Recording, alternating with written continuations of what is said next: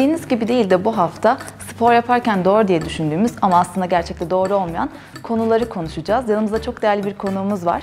Nergis Soylu bizimle beraber. Hoş geldiniz programımıza. Hoş buldum sağ ol. Hemen e, doğru bilinen yanlışlarımıza geçelim. Her gün yüzden fazla mekik çekersem karın yağlarından kurtulabilirim. Ne söylemek istersiniz? Herkesin bildiği yanlışlardan en önde gelenlerinden diyebilirim. Normalde insanlar sadece karın kasını mekik çekerek olacağını düşünüyor veya bölgesel yağlanmaya böyle gideceğini düşünüyor. Fakat e, burada tabii ki bir e, karın kası oluşumu olacak.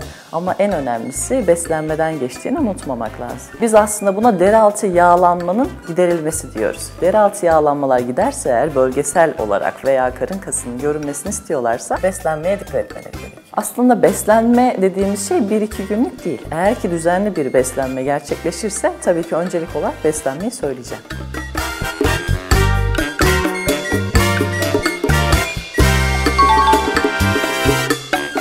Daha fazla protein daha fazla kas demektir. Her şeyin fazlası tabii ki zarar olduğu gibi burada da aslında yine devreye düzenli ve beslenmenin doğru olması giriyor. Tabii ki protein alımı olacak ki kas oluşumu olsun ama öncelikle doğru bir şekilde düzenli bir beslenme ve doğru antrenman metodu diyelim. Her spor dalı için ısınma hareketine gerek yoktur. Eğer ki iyi bir ısınma yapmazsa kişi bir sedantel veya bir milli sporcu hiç fark etmez. Kesinlikle sakatlık kaçınılmaz olacaktır. Gerçekten de ısınma çok önemli değil mi? Sinir sistemine önden bir gönderi göndermezseniz sinir kaslarınıza ulaşamayacağı için sakatlanmalar da mevcut olacaktır.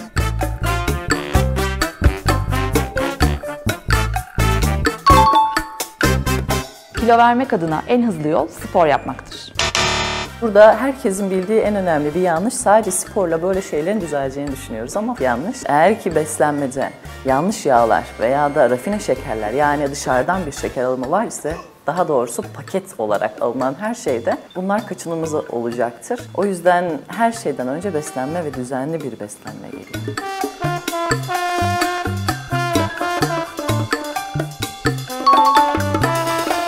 Yağları kasa çevirmek için ağırlık kaldırmak gerekir.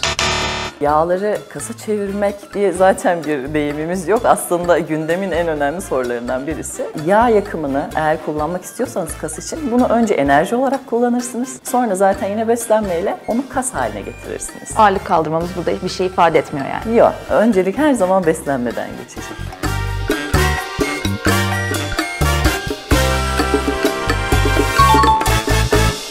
Vücudu şekle sokmak için 1-2 hafta spor yapmak yeterlidir.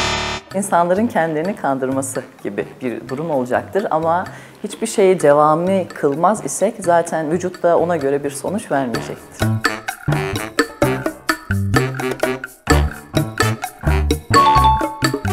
Form kaybetmek 2 hafta sürer. Ben 6 yaşımdan beri sporla ilgileniyorum ve bayağı bir kas kütlesine sahibim. Ama şimdi bir süre bu kadar antrenman yapıp ve emek verdikten sonra kaslarınız da diyor ki hayır ben olan bir kütleyi zaten yakmana izin verme. O yüzden alınan ve düzenli bir şekilde devamını kılınan sporda çok kolay bir şekilde de formunu kaybedemezsiniz.